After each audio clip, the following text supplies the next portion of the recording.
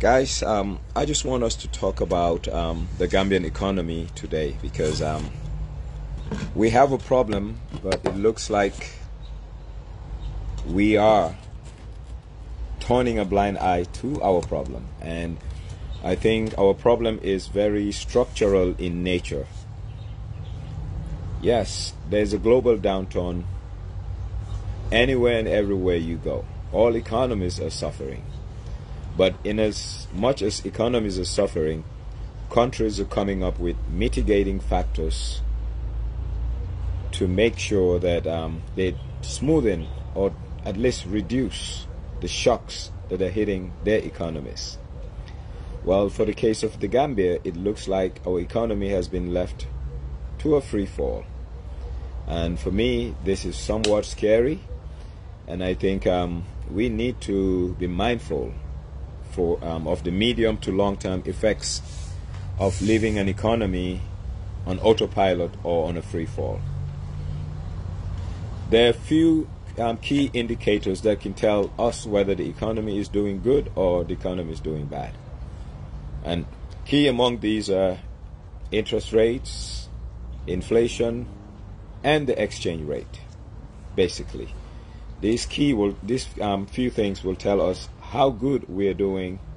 And right now, if we take a measurement and see what we're doing as a country, the Gambia is not doing too good. We're not faring well. Well, generally, all economies are exposed to external threats. But these external threats need to be managed and mitigated. And in the case of the Gambia, our economy is very open and we are an importer nation that relies heavily on imported goods. And as we all know today that imported goods are having some logistics nightmare not only in the port in the Gambia but international ports due to congestion. We're having problems because of commodity pricing. We're having problems because of cost of freight. So these things are affecting commodities coming to Gambia and consequently affecting prices. Now, as the Ministry of Finance, what should the government of the Gambia do to make sure that we reduce the incidences of such things?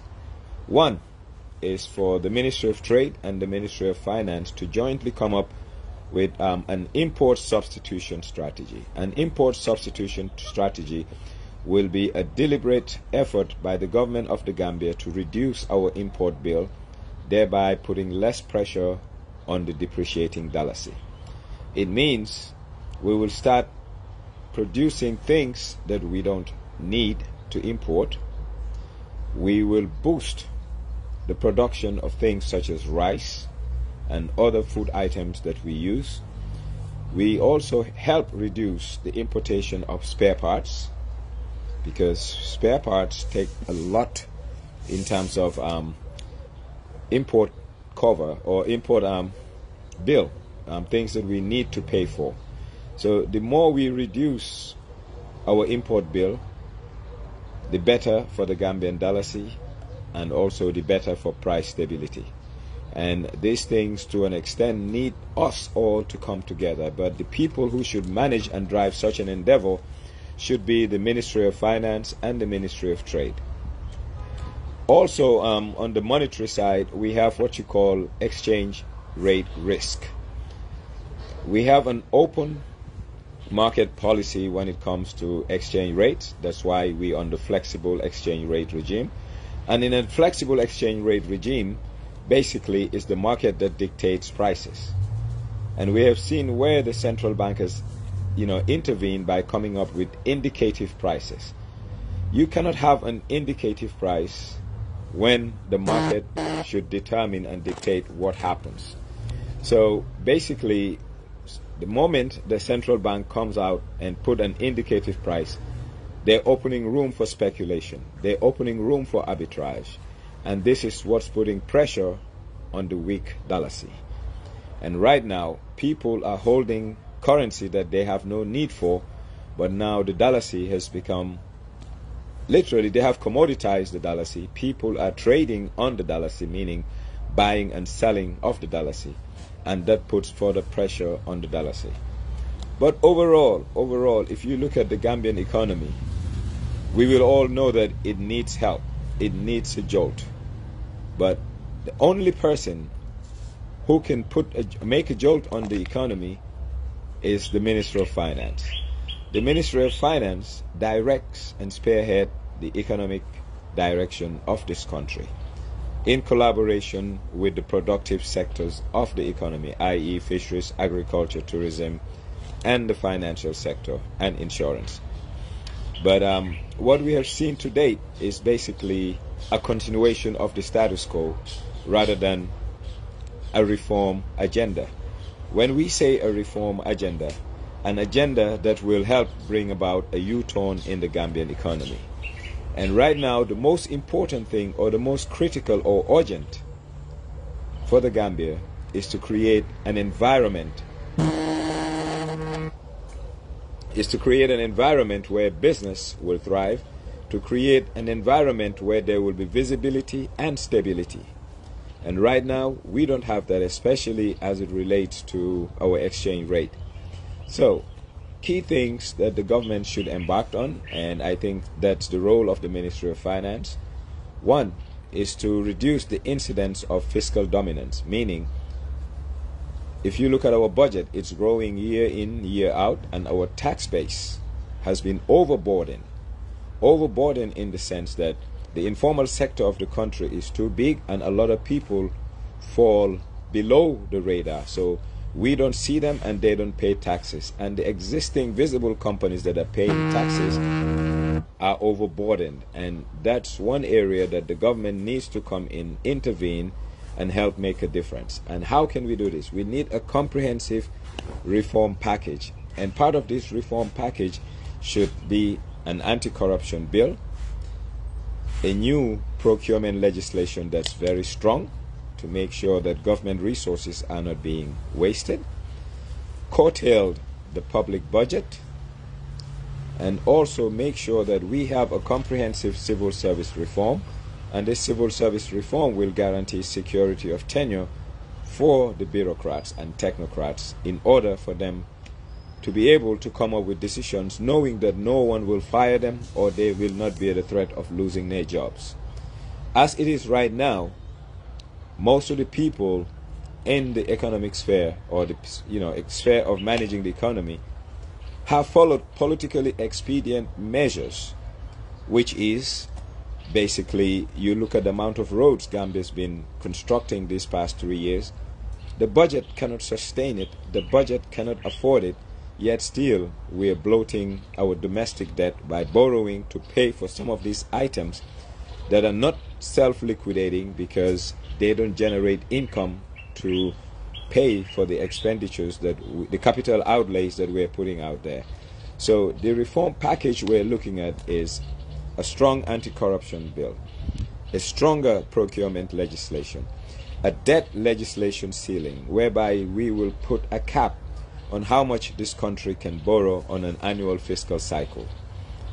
I think these things are very key in making sure that the Gambia moves ahead. And also, since our tourism receipts have been dropping and dropping a lot since COVID, our export earnings have been going down since COVID. We need to find ways and means of making sure that our need for foreign exchange is limited. And the only way we can make sure that our need for foreign exchange is limited is to ensure that we reduce our import bill. And the only way we can reduce our import bill is to make sure that we have an import substitution strategy whereby the incidence of Gambia importing a lot of things to third countries will be reduced. And if we reduce it, it means we have to come up with local production. And with local production, things can happen whereby some of the issues faced by the country will reduce because basically right now the Dalasi is under severe pressure. And if you look at the state of affairs as it relates to the economy, Gambia is at a stagflation mode, meaning inflation is rising and literally economic growth has stalled. So what do we need? We need to kickstart the economy. And kickstarting the economy starts with confidence. Economies are driven by confidence. And confidence brings visibility. And visibility brings economic activity. And as it is today, our economic visibility is very blurred because we all know that we have problems. But we are yet to see tangible policy pronouncements to make a U turn from where we are to where we need to go. So, what the government of the Gambia needs to do is to honestly take the economic management of this country seriously. I mean, I, for one, don't believe that we've put a lot of emphasis on the economic management of, the, of this country for the simple fact that we are seeing the degradation of our economy, but Consequently, we are not seeing adequate, sustainable economic policy prescriptions to address the ailing economy that we all live in. How long can this last? Well, I don't know how long it can last, but I know for a fact that to turn around an economy is more difficult than to see an economy falter. So, the way things are happening right now, we are losing a lot of gains that we have made in social in many social sectors of the economy. We are seeing transfer of trade activity from the Gambia to third countries like Senegal. Our balance of trade statistics are getting poorer today than ever before. The income levels of Gambians are getting poorer, and for me, these are indicators that we use to see whether the economies are progressing or not. So, what I think that needs to happen is for the government to take the economic management of this economy seriously. I'm sorry to say, but what we have seen, or what I have noticed personally, is that year in, year out, we've been focusing on managing a budget rather than building up an economy. What do I mean by that? Well, we have focused a lot on passing a budget and making expenditures you know, through that legislation that has been passed, rather than creating an environment whereby we create economic stability in the medium term and also economic growth medium to long term. And if we don't do this, honestly, Gambia's growth will continue to stall. Gambia's growth prospects will continue to be dim. And I don't see a way out of it right now because I haven't seen any meaningful, meaningful direction being taken by the state. So it's a cause for concern, and it should be a cause for concern for all of us. But I think many of us in the Gambia, we focus on the political structure of the country more than the economic structure of the country. And I think, yes, politics is important, but everything in this country is underwritten by the economic environment. And as it is today, it has degraded and it has degraded to an alarming point, and we all need to do something about it. We all need to urge our government to come up with tangible policy prescriptions. I mean, we look at GAMCEL, we know that GAMCEL is not doing good. We look at NAWEC, we know NAWEC is not doing good. Why is the government of the Gambia not having a public enterprise, a serious, when I say a serious public enterprise review, whereby we do a divestiture plan, trying to get rid of.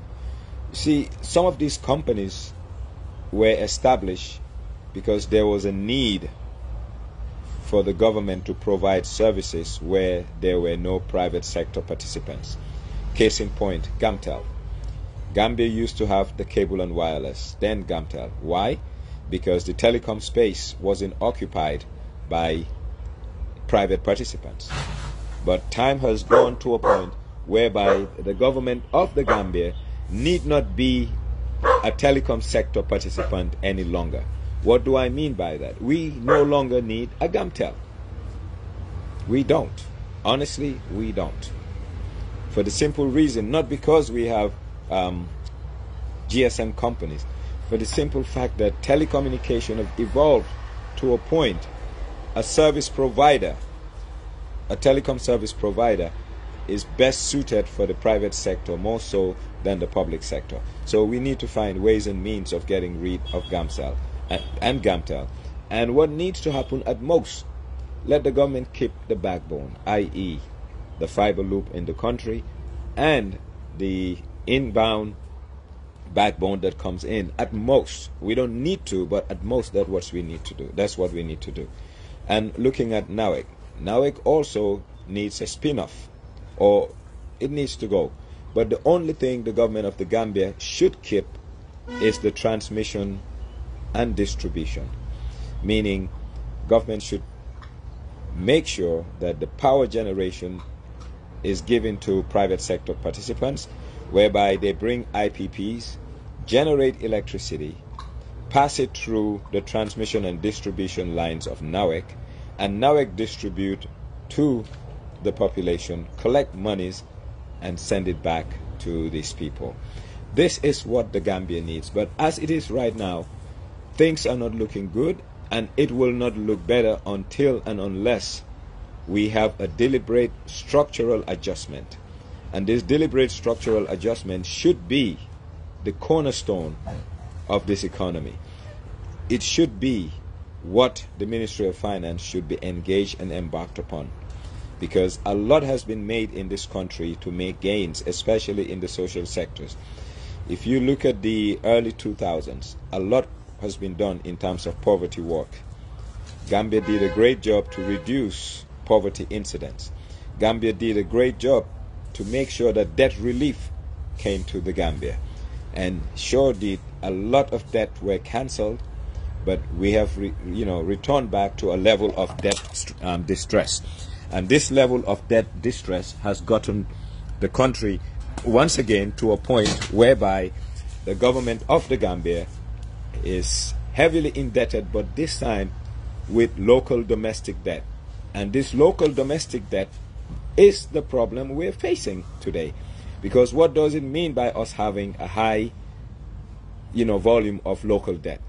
It means it becomes an opportunity cost to the economy, to the budget directly. Because every one dollar we have to pay, or one dollar we have to pay for debt, we are foregoing monies for schools, hospitals, agriculture, security, and otherwise. And that's why we need to look at what we're doing. Equally, I think um, whether it's deliberate or not, the Ministry of Finance has at least created an environment that is politically expedient rather than fiscally prudent. What do I mean by that? We have embarked on building a lot of roads without grants and aid from anybody but Gambia funding it through um, the Gambia Local Fund, the GLF, which is the Consolidated Revenue Fund. So it means we have to raise money to pay these road con- um, contractors. But we can't raise the money because our taxes, today, if you look at the total budget of Gambia, even minus these roads, we are at a deficit, meaning total taxes and um, revenue raise is less than our total expenditure.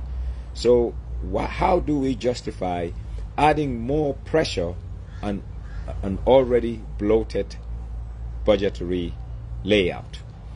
So I'm, I'm quite curious about what does this government want and the managers of the Gambian economy, particularly the Ministry of Finance, do they look at the medium to long term effects of some of this robust and very, very dominant fiscal space they're creating because they're creating a fiscal space, i.e., they're borrowing more than the country can sustain. They're borrowing more than our taxes and revenues and non tax revenues can generate.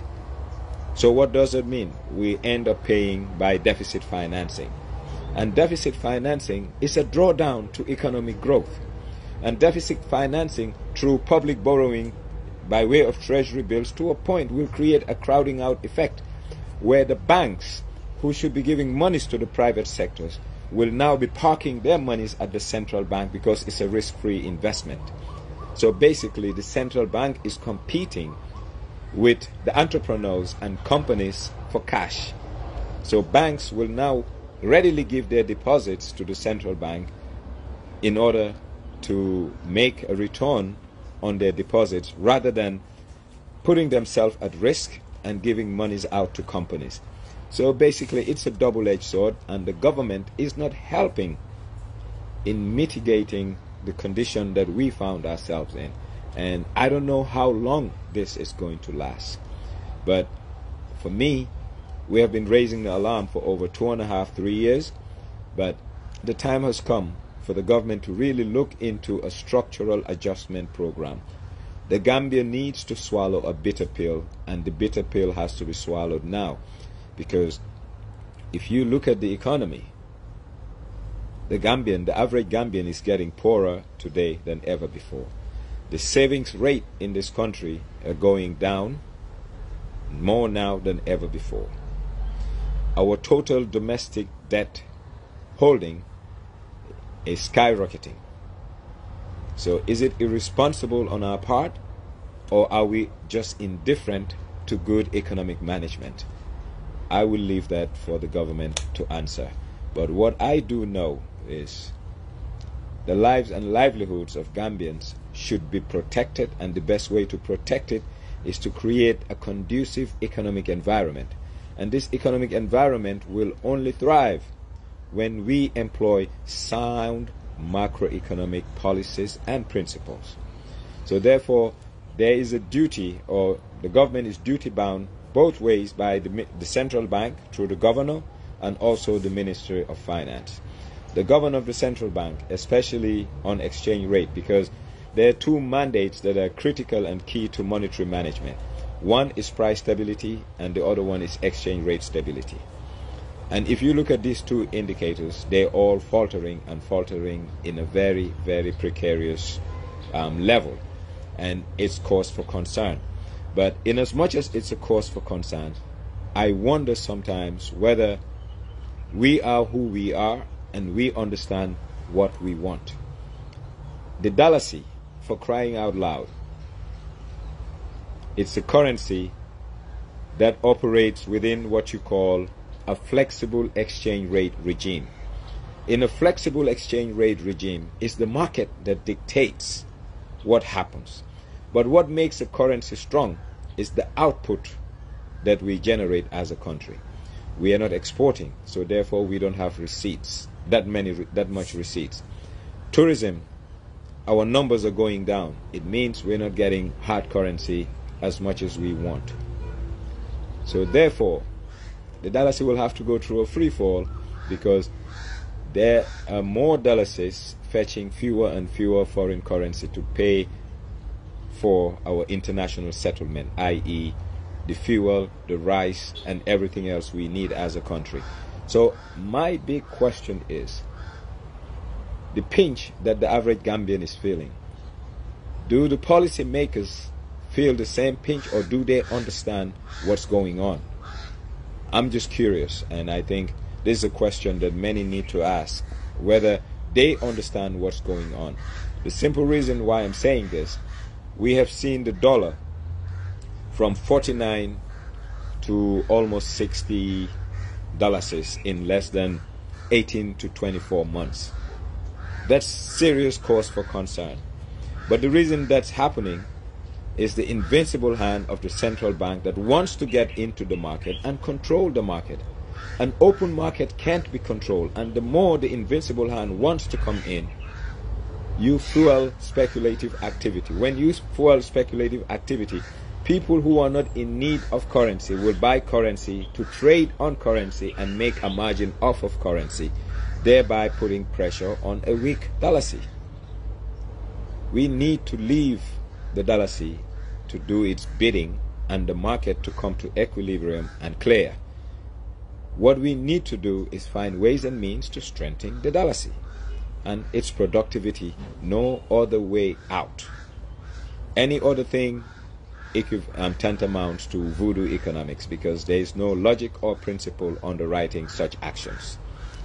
On the part of the Ministry of Finance, I think the Ministry of Finance need to come up with a comprehensive economic revival strategy, a comprehensive strategy that will revive the Gambian economy.